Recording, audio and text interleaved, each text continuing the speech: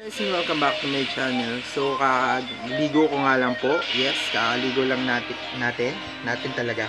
So, kakaligo ko lang po and um, gusto ko lang pong share sa inyo yung mga nalaman ko kung paano ma-avoid ang stroke ngayong kainitan. Pero bago po ang lahat, gusto ko lang pong i-shout out si Spectrum Motion. Siya po yung gumawa ng music po na naririnig nyo sa aking background. So, ah, sa mga katulad ko pong mga ah, content creator, pwede nyo pong i-download ang kanyang mga creations or mga um, music para po magamit nyo rin sa inyong YouTube channel. So, basta meron lang po siyang ah, binigay doon sa description niya na ilagay nyo po sa inyong sa ilalim po ng inyong videos and wala na po kayong ah, copyright strike na mararanasan. Parang ganun. Basta yun, yun yun. So, ngayon, um, ngayon po ay kainitan dito sa Cabanatuan City. Alam naman po natin na isa sa pinakamainit na lugar ay ang Cabanatuan City because we're hot. Ay, joke lang, please. So, yun. So, ang pinakamainit po ngayon sa Cabanatuan ay umabot po ata ng thir- 43. Parang ganun, yung pinakamainit na naranasan namin dito sa Cabanatuan. Talaga pong sobrang init dito sa Cabanatuan na pati po yung mga gamit na hindi naman um, hindi naman po siya na silayan ng araw ay talaga pong mainit din siya. Para talaga siyang pinakuluan. Pati po yung mga water namin dito, pag unang bukas mo po siya, siguro po mga within 5 seconds, ay 5 seconds, 5 minutes mo po siyang bubuksan para lang po mawala yung init niya. Kasi para talagang, para talagang pinakuluan, parang nasa, parang may heater yung tubig dito. So, paano nga ba natin ma-avoid ang stroke? Ah, para po ma-avoid po natin ng stroke, unang-una po, wag po kayong mag skip ng inyong maintenance sa mga meron pong maintenance dyan, mga high blood po dyan. Ah, wag nyo pong hayaan na hindi po kayo inom ng inyong gamot sa araw-araw. Yun po. At saka po, magdala po tayo ng ah, payong para hindi po ta hindi po direkta yung araw na tatama sa ating balat, sa ating po sa atin po. 'Yun. Tama? Basta, 'yun. Tapos um magdala rin po tayo ng tubig lagi. Ugaliin po nating uminom ng tubig palagi para hindi po tayo ma-dehydrate kasi po sa sobrang init ang ating mga um, pawis po ay tuloy-tuloy ang pagtagakta. Kaya po ang tubig po natin sa katawan ay lalo pong nababawasan. Kaya kung hindi po tayo magre-replenish, ay replenish, ay replenish. Ay, ano ba yun? Or P? O, basta yun na yun. Boplax lang eh. Pero, so yun nga po, um, kailangan po, lagi po tayong ugaliin po natin uminom ng tubig, lalo na po ngayon nakainitan para maiwa, iwa, maiwasan po natin ng stroke. So, meron pa pong mga ibang paraan. Uminom po kayo ng vitamin C kasi ang vitamin C po ay nakakapagpa mm, ano ba 'yun? Ah na ginagawa po niyang elastic ang ating ugat.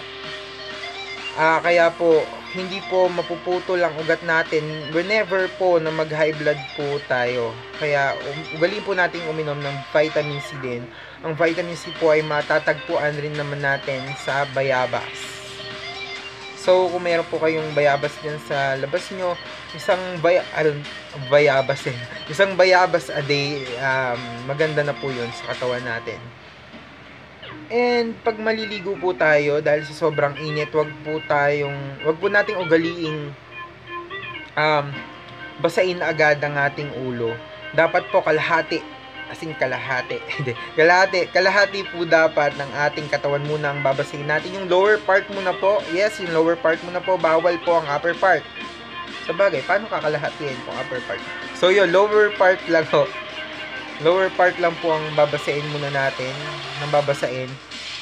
Tapos paunti-unti po yan. Papunta sa kilikili, yan. Sa upper hanggang sa ulo. Kasi po, pag binuhusan po natin direkta ang ating ulo, maaari pong umangat yung init at mag-cause po sa atin ng stroke or mawalan po tayo ng malay pag po bigla pong um, umakyat yung init sa ating ulo.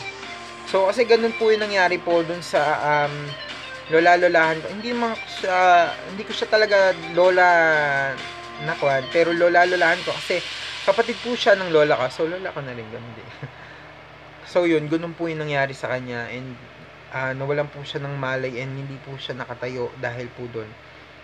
So, i-avoid po natin yon And lagi po tayong uminom ng tubig. Yun lang po ang um, bibigay ko pong mga tips. Kaya saka magdala po kayo ng mga pang BP kung hina-high blood po kayo. Kasi kung minsan po, ang, ang akala po natin, nag-high blood tayo pero naglo-low blood po pala tayo. So, kailangan po marunong din mag-BP, ay marunong din tayo mag-BP or mag-take ng BP. Ah, basta yun, marunong kang mag mag-BP para malaman mo kung low blood ka or high blood ka. Baka po kasi low blood ka tapos iinom ka pa ng pampababa ng um, blood pressure. Ang blood pressure nga po pala, pwede, kung mataas po ang blood pressure nyo, kung hindi pa po abot ng 150 yung inyong blood pressure, pwede po kayong uminom ng juice or pineapple juice para po pampababa po ng inyong blood pressure. Pero kung 150 na po to pataas or talagang 160, 170, 180 eh uminom na po ah, mag-intake na po tayo ng catapres or maglagay po tayo ng mm, bawang. Ay, bawang? Basta yun, catapres muna. Mahirap mag-recommenda pag mm, hindi ka sure eh. Parang medyo na nalito ako doon.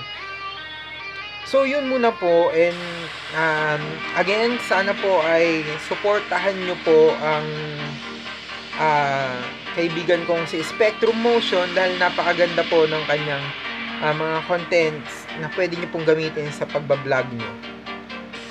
And ah, maraming salamat po sa mga sumusuporta sa aking mga co-Mayward fans ko mga co-flyers ko. And enjoy po kayo sa darating na album launch ng Mayward ah, sa Skydome. Yeah. So, yun lang po and maraming salamat sa inyong lahat.